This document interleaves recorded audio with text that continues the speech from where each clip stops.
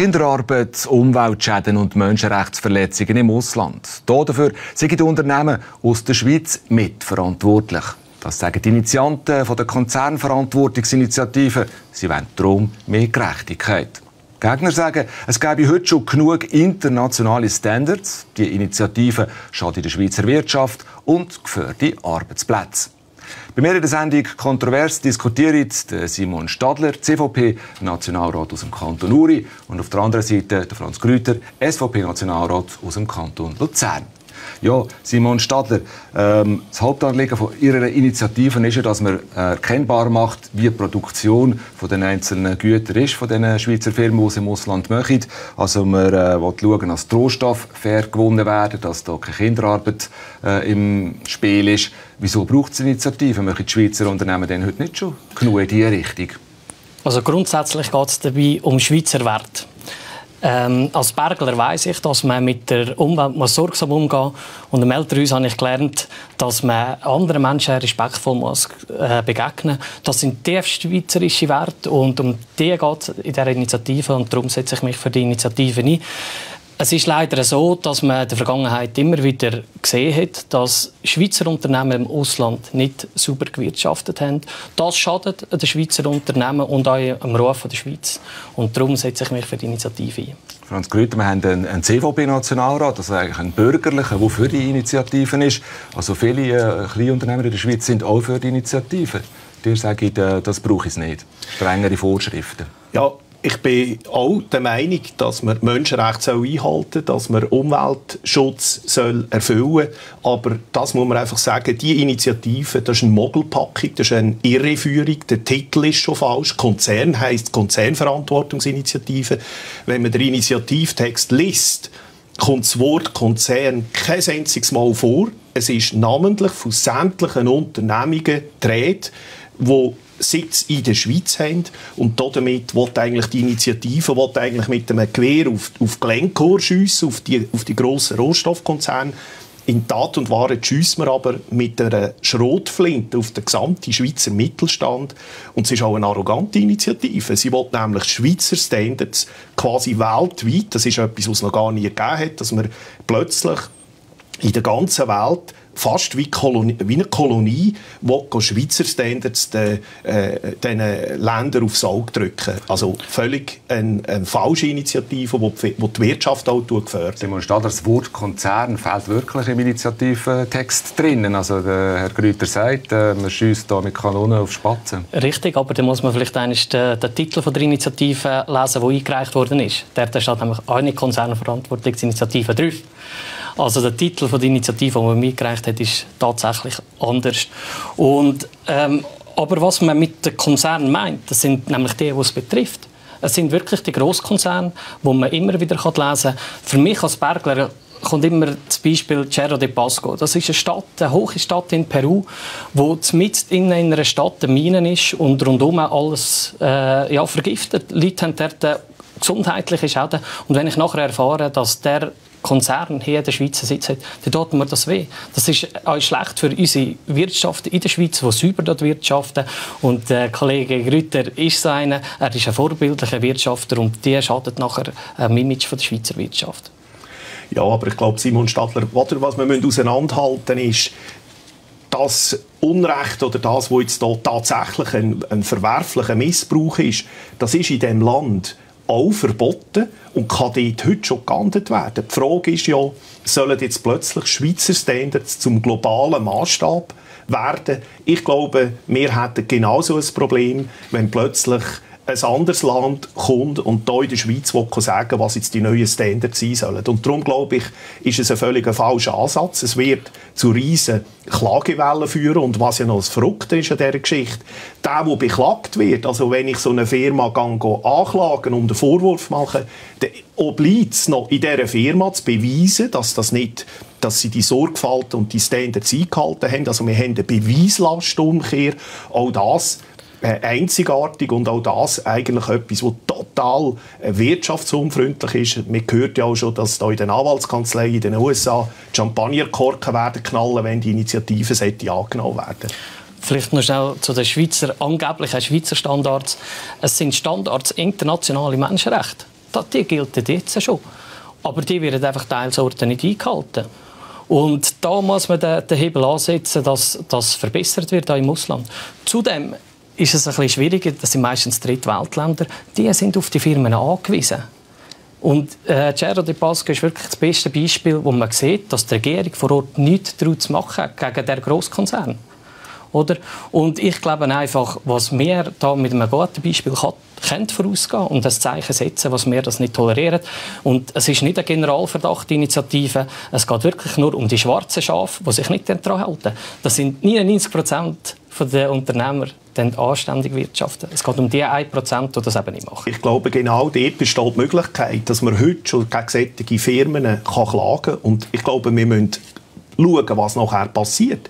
Es betrifft ja nicht nur die Firmen, es betrifft auch die ganzen Zulieferketten. Also wenn eine Schweizer Firma, es kann auch ein KMU treffen, irgendwo Teesort aus Indien importiert und dort liest vielleicht einmal ein Kind so ein Teeblatt ab, dann nachher kann er hier beklagt werden, muss noch das Gegenteil beweisen. Ich glaube, die Realität wird eben so sein, dass dort die Zulieferer nachher Kündigungen bekommen, dass also eigentlich gerade in den Ländern, wo oft arme Leute sind, wo Armut herrscht, dass in diesen Ländern am Schluss sogar das Gegenteil passiert, nämlich dass man die Armut noch mehr fördern, dass solche Länder dann dort werden Geschäfte machen wie Russland oder China, wo wir wissen, dass sie nicht solche Standards so überwachen und einhalten, wie wir das machen. Und dann haben wir eigentlich am Schluss gerade das Gegenteil erreicht, statt dass wir diesen Leuten vor Ort helfen, haben wir sogar die Armut noch gefördert. Also ist eine kontraproduktive Initiative. Ich könnte vielleicht gerade mal noch einhängen mit dem Recht. Oder? Also, äh, der Herr Grüter hat es jetzt angetönt, äh, die Firmen äh, haben ja vor Ort auch einen, einen Rechtsstaat, wo sie sich daran halten müssen. Ähm, aber trotzdem, äh, die halten sich dann einfach äh, nicht daran. Wie will man denn da etwas machen? Das ist eben das Problem, oder? Meistens sind die Drittweltstaaten auf die Firmen angewiesen, dass die Leute beschäftigt, dass sie dort Steuern zahlen. Und wegen dem ist es für die nicht attraktiv, dort einzugreifen und dann eigentlich mit Massnahmen äh, wegzukommen, dass sie vielleicht weniger Profit machen, weniger dem Staat abliefern dort. Und, und das ist das Problem.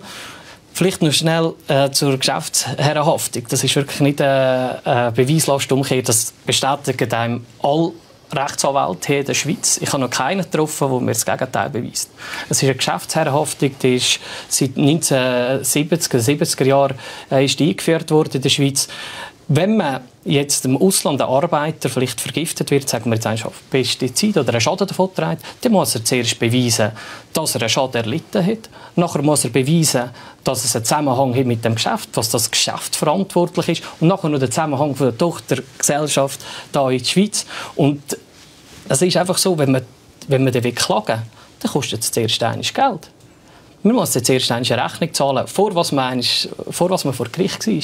Also ich sage, die Hürden sind dort mit der Annahme von der Initiative noch genug hoch, was es äh, keine Klagewelle wird geben.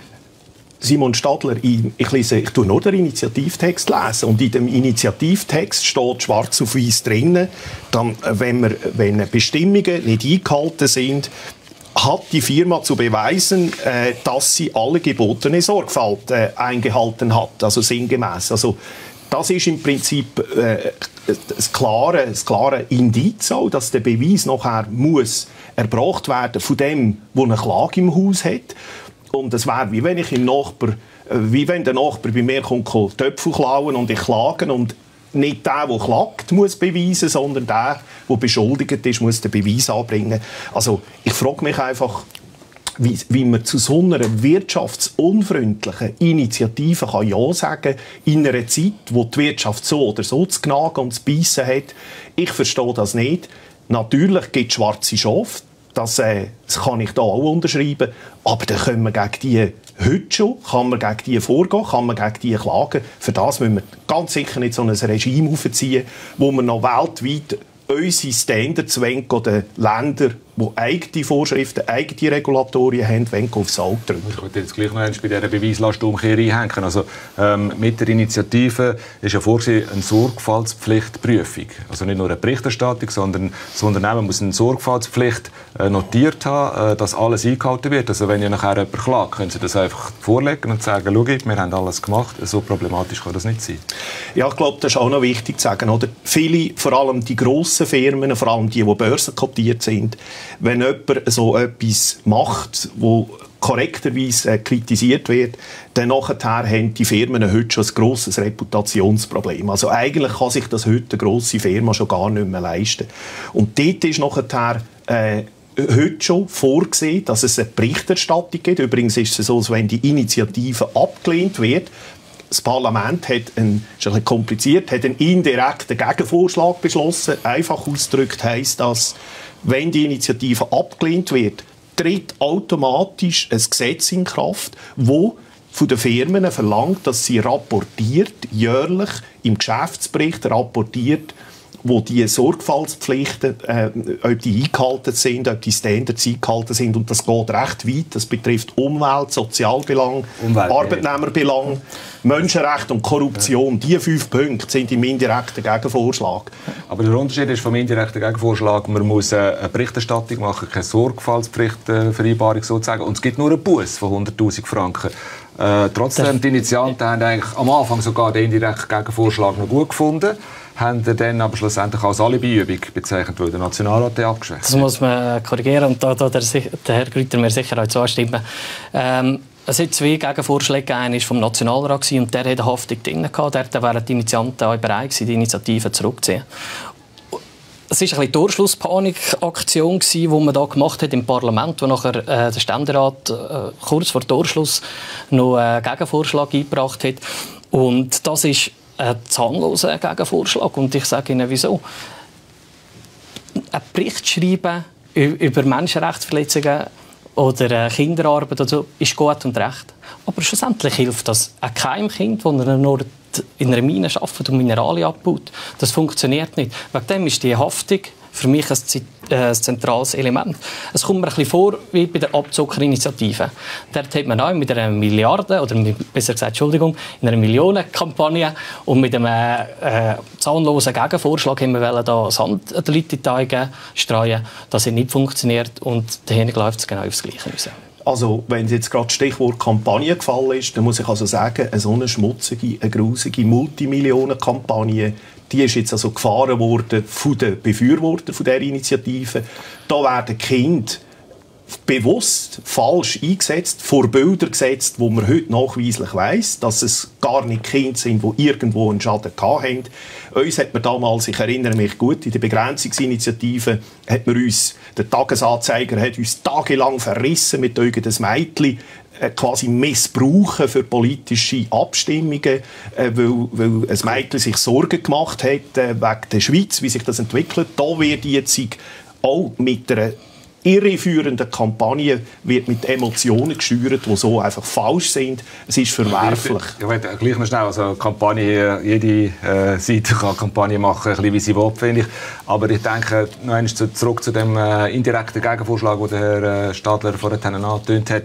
Also der ist schlussendlich nur bei den ähm, Konfliktmaterialien, also äh, zum Beispiel Gold, das Kriegsgebiet, und bei der Kinderarbeit äh, eine Sorgfaltspflichtprüfung drin. Bei der Umwelt zum Beispiel fehlt das. wieso ist die Umwelt dort nicht drin? Da braucht es nur Berichterstattung. Es braucht äh, die fünf Punkte, die ich vorher gesagt habe, das betrifft eine jährliche Berichterstattung. Also das heisst, die Firmen, und die, das weiss man, die Geschäftsberichte sind öffentlich, die können auch die Leute anschauen, die eine kritische Meinung und eine kritische Haltung haben zu einem Unternehmen gegenüber.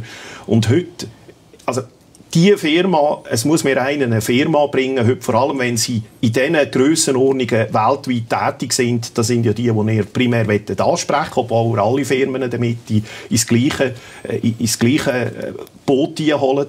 Und diese Firmen, die sind heute schon bereits dermaßen auf dem Radar. Ich weiß, dass die äußerst sorgfältig damit umgehen. Und wenn sie tätige Missbrüche haben, dann ist es heute schon möglich, dass man die kann beklagen kann. Und darum glaube ich, ist das, was hier vorgesehen ist in diesem indirekten Gegenvorschlag, durchaus ein wertvolles, ein gutes und ein genügendes Instrument. Herr Stadler.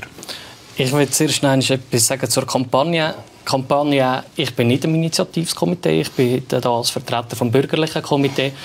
Ich kämpfe für den Inhalt dieser Initiative, die ich begrüße.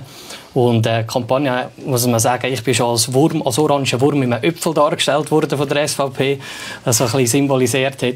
Und äh, das ist amigs beim Abstimmungskampf und ich glaube, die SVP ähm, hat das selber auch schon gemacht und, und jetzt muss man so eins tolerieren, wenn, wenn es andere halt auch machen. Das war nicht ein Wurm, das war eine Raupe. Äh, ein Raupe das ist eine andere Kampagne. Ein ganz bleiben wir, bleiben wir bei der Konzernverantwortungsinitiative. ähm, Sie haben ja noch entgegnen eben auf... Ähm, dass der Umweltschutz nicht drin ist eigentlich im indirekten Gegenvorschlag bei der Sorgfaltspflicht, sondern nur, also nur ähm, Konfliktmaterialien und Kinderarbeit.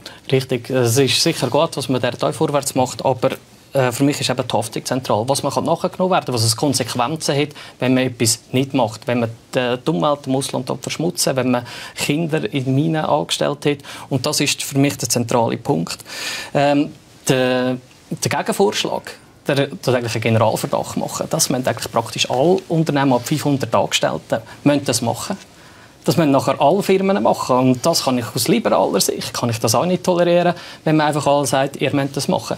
Bei der Initiative ist es wirklich so, da müssen die gerade stehen, die es betrifft.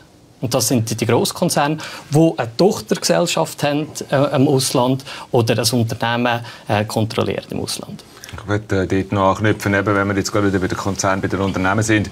Äh, dir sagen ja, bei den Gegnern seien 80'000 Unternehmen seien da betroffen. Da gibt es differenzierte Zahlen. Es gibt Zahlen, wo man sagt, seien nur 3'500 Unternehmen betroffen. Wie kommen wir auf die 80'000?